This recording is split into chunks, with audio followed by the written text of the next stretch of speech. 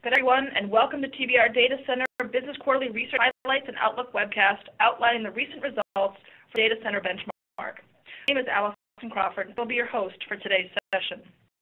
In the 45 minutes, Senior Analyst Christian Perry will delve into the trends driving the results featured in the 3Q12 Data Center Benchmark to which you subscribe, followed by Q&A of these trends and how they will affect you. Before started, I'd like to cover some housekeeping items with you.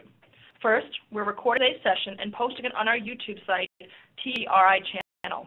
We encourage you to visit our channel to watch this presentation or any of the others that we've posted. Second, we'd like to hear your opinions and thoughts on the materials we're presenting.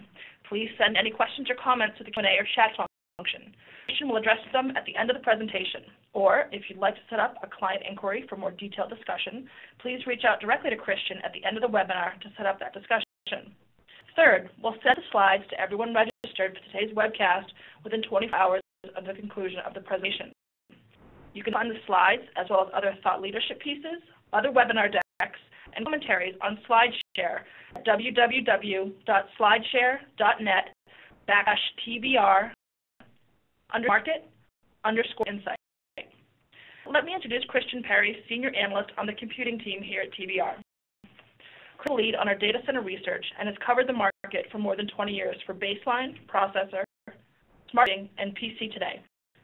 His insight into the operations and competitive strategies of data vendors help our clients improve their strategic go-to-market plans and performance.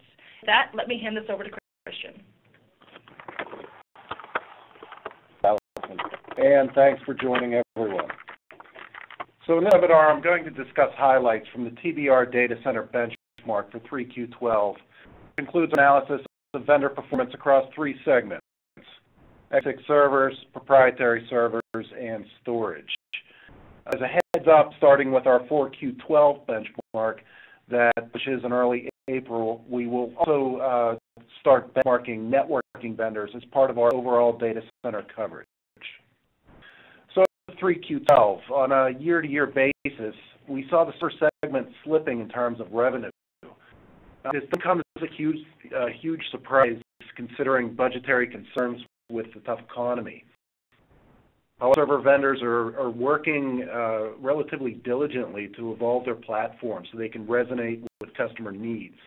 For example, as data center customers require uh, increasing levels of efficiency from their hardware, vendors moving products from their server, storage, and networking portfolios into converged stacks and they're going to create more refined management software that helps customers control these various infrastructure planes.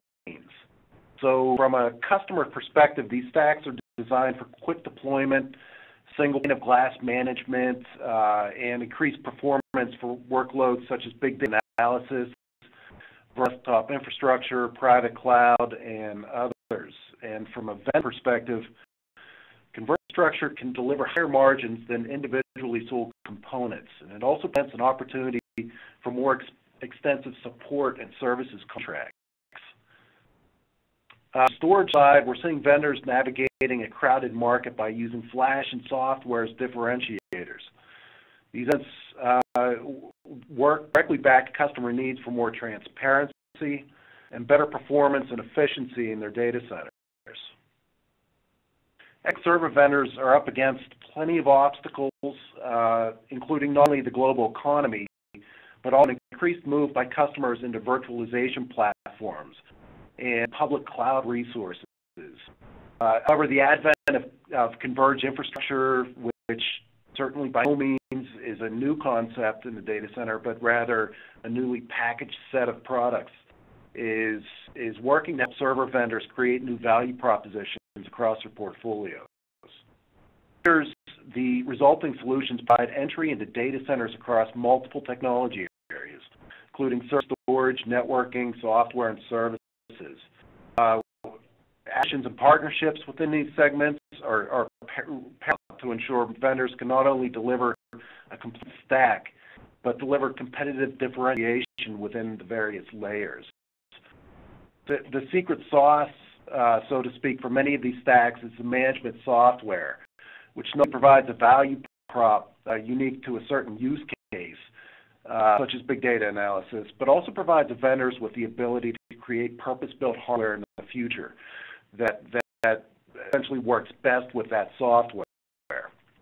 Since it changes the hardware game because the vendors in that space can start transform into software-led vendors. And of course, as we know, that's where the high margins live. We've also identified a unique form of commoditization occurring in the marketplace around form factor that's helping to drive customer sales in this converged infrastructure space uh, through flexibility of deployment options. Uh, as many of you know, you know, most vendors in this space provide customers with two options. So they can choose their own architecture and have the stack validated against their deployment expectations. So for example, uh, a 2,000 seat environment. And the other option is to buy a pre-configured stack that's wheeled right into the data center and ready for deployment in just days or in some cases even hours. So these are the two primary delivery methods that customers have come to expect. Vendors now more easily assemble converged uh, architecture from their existing hardware portfolio. So as long as the vendor has the knowledge and resources to provide validation, it'll to provide both options. Kind of growth leaders Cisco and Huawei, uh, we see here on this chart there's tight competition in the x86 server market. We're seeing vendors compete aggressively to their portfolios and go-to-market approaches uh, to some of the macroeconomic headwinds that, that we see continuing to persist. These efforts are, really helping to gain, helping the vendors to gain new customers that are migrating increasingly towards toward uh, converged infrastructure, which we discussed, and uh, the the other as a service delivery models. So when the economy is tough, uh, server customers look to make the most of their existing infrastructure. That's no big surprise. Uh, today, that's easier than ever with the uh, mature virtualization options that, ha- that they have at hand. Um, of course, cloud computing on a needed basis also becomes more attractive this against buying new infrastructure. And again, this all ties back to, to uh, the continuing tough economy. Uh, so partially due to these reasons, we saw x86 server revenue growth decline from 13% year to year in 2Q12 to 8.4% year to year in 3Q12. Uh, you see Huawei on that chart. It's gaining major, major traction in the enterprise. It, it still doesn't have a, a market share, but we expect that to grow. It has a very strong telecommunications business that it's leveraging as a running start in the enterprise, essentially undercutting other major server vendors on price while using its presence in China and uh, emerging APAC countries to establish proof points uh, uh, for some of its solutions. So Huawei's market presence in the Americas remains relatively small. It nonetheless uh, stands out as the top growth vendor in the region among the vendors in our benchmark.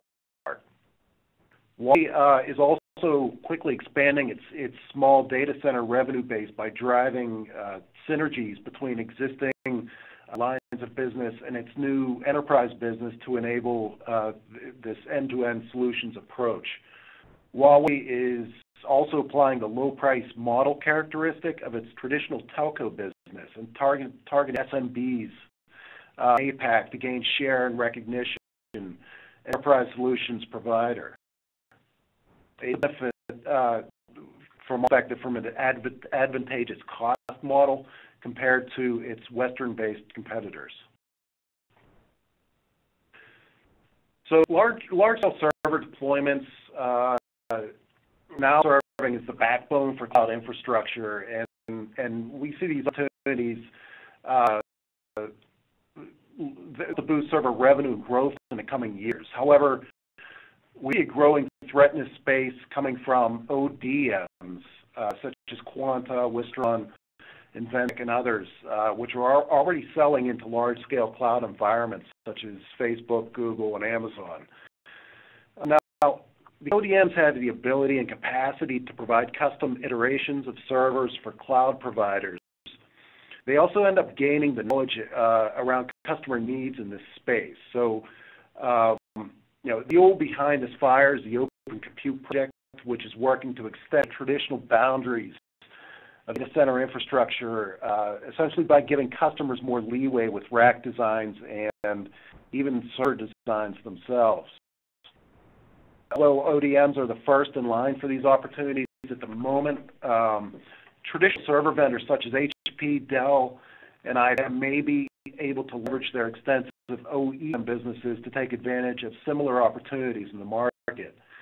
But these, efforts are, are essentially going to require the vendors to ensure strong lines of communication between OEM groups and the branded server groups. Proprietary server market also continues to drop in average revenue growth. Uh, the good news is that we believe that, that new server releases and updates from IBM and HP uh, uh, will help to boost the segment, uh, and upcoming uh, portfolio refreshes from Oracle will also contribute to that uptick. IBM, for its part, continues to integrate Power 7 Plus processors and architecture into its prop server portfolio, uh, essentially giving customers higher frequencies and more efficiency through updates uh, to its architecture and energy build. Key for parts emerged from the litigation with Oracle and continues to expand its integrity line with new Itanium processors proprietary server market continues to decline on a quarterly revenue basis. Uh, we believe the segment faces no imminent danger of complete replacement in the data center.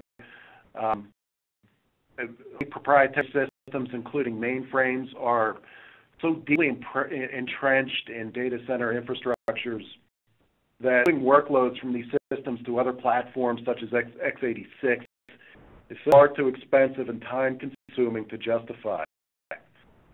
Migration of workloads from these systems to x80 to x86 platforms, for example, can cause plenty of problems. Um, there, there might be application and process relationships on these systems with other pieces of the IT infrastructure that aren't readily apparent when a migration begins.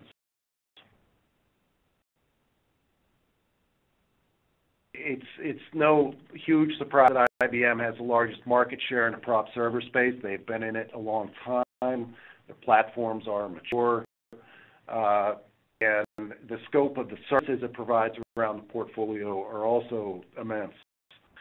Uh, one vendor to keep an eye on, you'll see it there beside IBM, is Unisys. Uh, it, it launched its latest line of ClearPath mainframes in October, and the servers are selling relatively well. Uh, in fact, better than anyone expected. And uh, interestingly enough, uh, the mainframes are powered by Intel's uh, Xeon E5 processors, which we see giving Unisys an advantage on a couple of fronts. Uh, first, the system the systems can run Windows or Linux, which vendor the ability to sell compatible software stacks on top of, of those operating systems.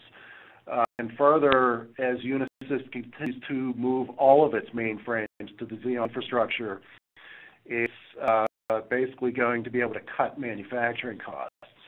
So it might not see large boost to profits, um, but we predict that uh, Unisys will be able to increase its market share in the mainframe space.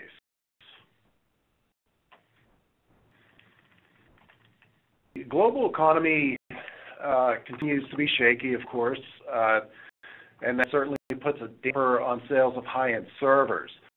However, there are plenty of data center customers that have been waiting on, on some of these portfolio refreshes that, that, that I discussed previously. Um, those are coming from HP, IBM, an Oracle. Some of them are already out. And as, as these products begin to uh, mature, we expect sales will see an uptick across the market segment. Oracle Fujitsu have plans to roll out new SPARC chips in 2013. And while we expect this will dampen demand across the portfolios of each vendor in the fourth quarter, uh, chip units will pick up once the release actually occurs. Now, talked a bit about IBM and HP, but along with Unisys, Bull, NEC, um, they also bear watching. Bolin doing a nice job of bundling its prop servers with storage, uh, software, and services, and this helps it to cultivate a message of industry-specific solutions to protect its install base and grow revenue in Europe. The, uh, for its part, is following a similar path to success by buying in software and services to vertical-specific solutions, in this case, in the APAC region.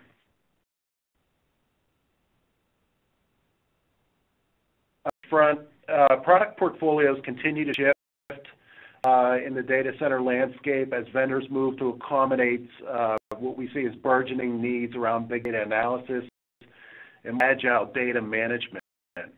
We believe that the current critical differentiation in the market revolves around workload-specific storage infrastructure that helps customers attain more agility with their data. EMC's VMC3150 supports a transition to virtualized environments integration with VMware vSphere and Soft Hyper-V posted strong storage revenue growth in 3Q12 at 37.3%. 29% percentage point uh, difference from the uh, the next highest revenue leader, which is Fujitsu. So while caters to all sizes of, enterprise customers with its NAS and SAN solutions, uh, which enables it to position itself as a as a primary enterprise provider of storage infrastructure, at least in regions outside of the U.S. Huawei announced the second generation of its Ocean Store DRAM flash array, and that puts it into competition with other flash array providers such as Greenbytes, uh, Nimbus Data, Violin, uh, NexGen, and others, including ME, uh, EMC, NetApp, Dell, and other vendors that are working out to build their they're working to, to build out their flash-based portfolios. Revenue growth dipped from 0% year to year in 2Q12 to negative 2% in 3Q12. Uh, demand increasingly shifts towards cost-effective solutions for running cloud computing and big data requirements uh, continue to engage in price competition, particularly in the mid-tier.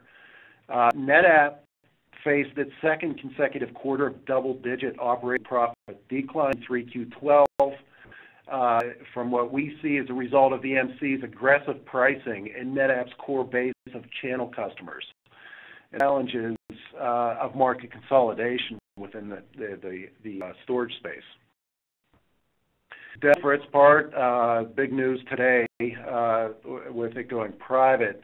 Um, in, in 3Q12, we, we saw struggling to maintain storage momentum amid tight customer budgets and pricing press, pressures. Uh, alone storage fell 3% year to year despite new backup, uh, recovery, and replication solutions. Um, released uh, enhanced NAS fiber communication capabilities and improved compellent management software offerings. As uh, some of these, these releases start to gain some traction, we expect that uh, Dell-owned storage will also um, see an uptick in coming quarters. So we anticipate that storage industry demand will remain tightly aligned with technologies and solutions on driving storage optimization as customers continue to seek new means to efficiencies in a climate of weak uh, budgetary growth. Vendors will will align their development, partnership, and go-to-market approaches to meet this evolving demand. Uh, we, we see this evidenced by EMC, which is a, a traditional pure-play storage vendor and the lead in industry revenue that has uh, taken a number of steps during this the second half of, of 2012 include structuring its executive ranks and forming the uh, the pivotal initiative with VMware, uh, all combined to help EMC round out its stack. The, its moves also help to uh, expand storage beyond the traditional array to drive new efficiencies and cost savings across the IT fabric.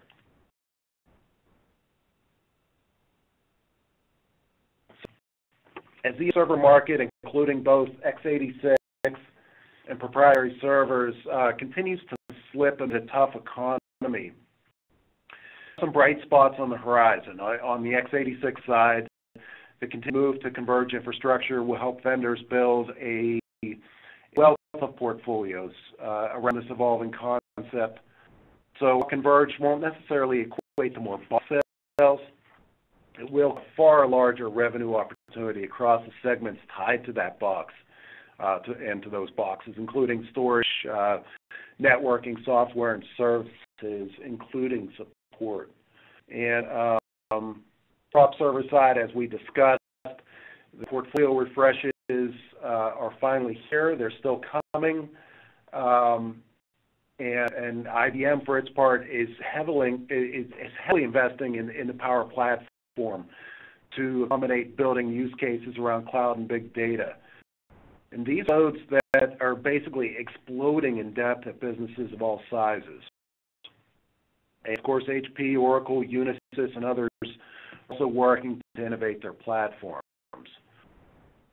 Uh, on the software side, it's all in closely here. Again, with converged infrastructure, it's all one big piece of a giant puzzle.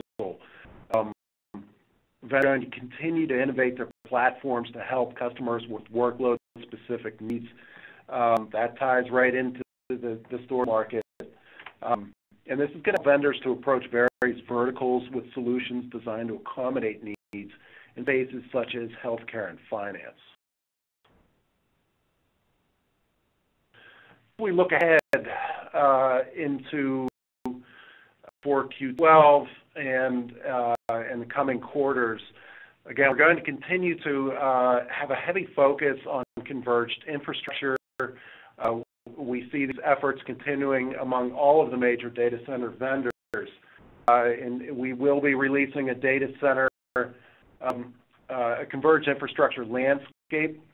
This will be released in the second quarter of, of 2013, uh, and it will examine what converged uh, infrastructure platforms customers are adopting, why they're adopting them, who they're buying from, and it will also examine their buying plans. Um, we'll also, we're going to continue uh, keeping a, a, a close eye on prop servers as they essentially make a comeback here. Um, we've been doing this for a couple quarters, and we continue uh, to watch it as as these these portfolio refreshes help vendors um, gain in the market. Software-defined networking and the whole concept of software-defined data center. Uh, we have a very close eye on this as well. Uh, it, it, certainly has an impact across all hardware segments in the data center, uh, so that's something we will be looking at closely. So with that, we'd like to open up for questions. We've had a few come through. I'd like to encourage anyone out there that has a question for Christian to send it now.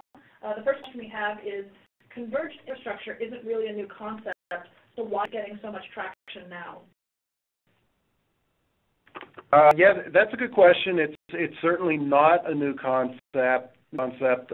Um, we've seen these all in all in stacks for years, even before uh, Cisco's UCS frankly, customers have essentially been building their own stacks for years, uh, but it's it's that effort of, of configuring, testing, deploying, and and managing uh, those those internal stacks that's making all these offerings from vendors a very attractive uh, proposition.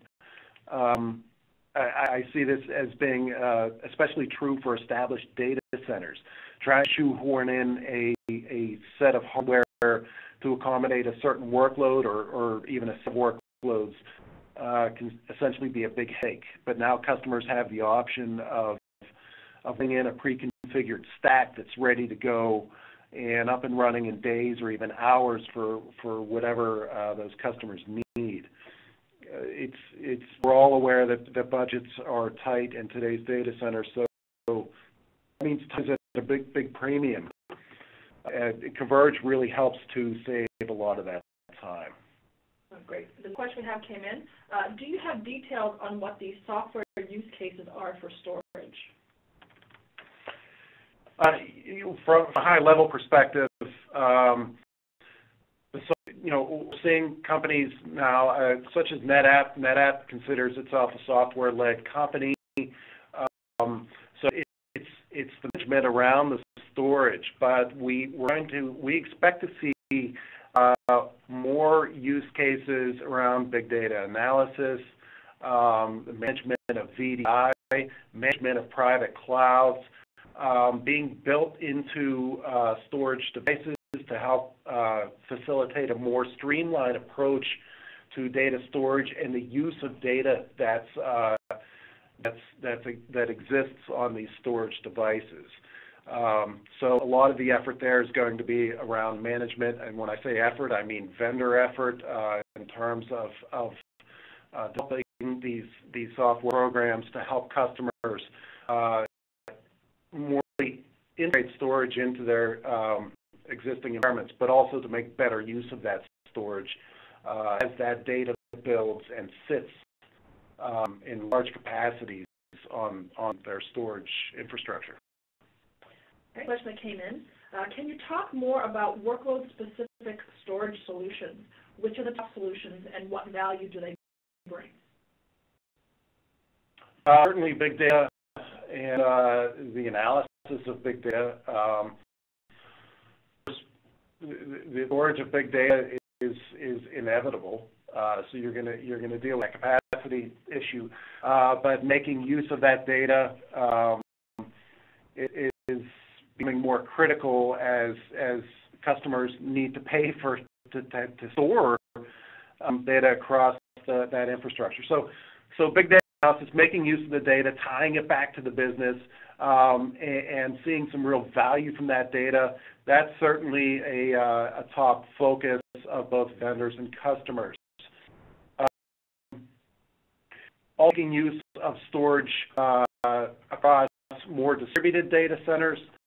Um, that that so that ties into a uh, a product hybrid hybrid cloud approach, um, making uh, storage infrastructures uh, more flexible and um, essentially able to to uh, to to, um, to to facilitate the travel of data across uh, these distributed locations, mobile employees. Uh, so th- there's there's another top focus there from a workload perspective. I think those are two. Um, those are I would I would call those the highest uh, priorities we see now from a storage workload perspective. Okay. The next one we had come through. I didn't hear much about ARM licensees who seem to be making a lot of noise about coming into the data center. Any thoughts as to how they would become enterprise worthy and widely adopted in the near term future? Uh, yeah, that's a great question. Um, so, so right now we're we're we're in the 32-bit stage for uh, ARM-based and Atom-based um, servers and server architectures. Uh, we we don't expect uh, huge traction in the enterprise space space until these uh, processors are coming out in 64-bit versions, because most data centers now, um, most of their architectures are 64-bit. So in order to accommodate ARM or Atom, uh, they're going to have to backtrack to 32-bit, and then once 64-bit comes out, uh, they're going to have to go back up. So it's a lot of effort. Um, I, so right now it's still a wait and see approach. I think there's there's going to be demand once 64-bit hits. We're not going to see that for uh, probably another year. Um, so in in the near term, uh, the traction is going to be around um, uh, web infrastructure for those 32-bit platforms, also for big data analysis. Um, again, the, the, the, real traction isn't going to happen until it hits 64-bit. Okay, is, what do you see happening in the all-flash storage arena? Will the new players continue to grow, or do you see the traditional vendors coming to play and outmaneuvering these smaller players? What we're already seeing is some of the smaller players being acquired by the larger players. Um, of course, oh, many of them can be acquired before all the larger players have a, an all-flash play in the in the market. It's it's we move to, towards a more converged uh, approach in the data center. It's going to be tougher for the niche players to um, gain real traction over some of the more established players such as HP and Dell and uh, IBM and, and certainly EMC um, because they have a huge presence in the data center. They're all looking to be, aside from EMC, they're all looking to become end-to-end solutions providers. That's going to include uh, all flash arrays. Um, and and that, in fact, all flash arrays, we, we do anticipate there's going to be some major uptake in that space this year. Um, if players play their cards right, they could they could um, and that includes that includes uh, building partnerships some of the established players. Um, but those partnerships that are built to last, uh, we're, it's tough to say exactly how that's going to happen.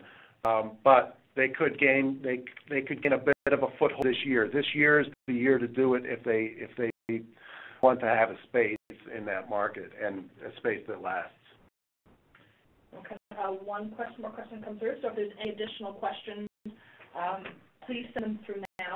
Uh, Christian, next question. Do you see converged infrastructure coming in market for Unix-based servers? Uh, to some extent, sure, uh, that that's a real possibility. Some of these solutions are, are, are aimed directly at the same workloads that prop servers handle, uh, such as big data analysis. But, but when it comes to pure processing power, uh, it's really pretty tough to beat the chips from IBM, Oracle, and Intel that aren't x86. I, I, I don't think that's a big surprise.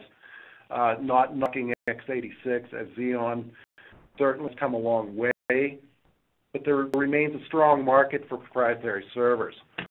And at that point, the, we, we do expect there's going to be an opportunity for hybrid converged systems that will use both x86 and non-x86 technologies.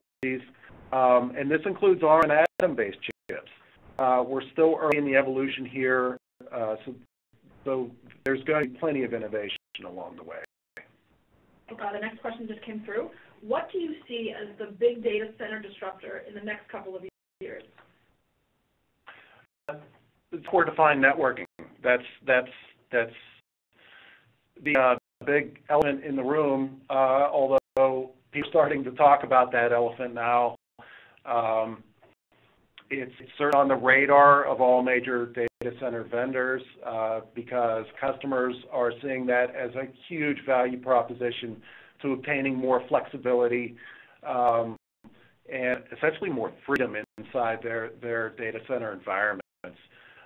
Um, you know, acquisitions are going to occur this year um, in the space. Uh, we don't know exactly who, um, but, but they're going to come.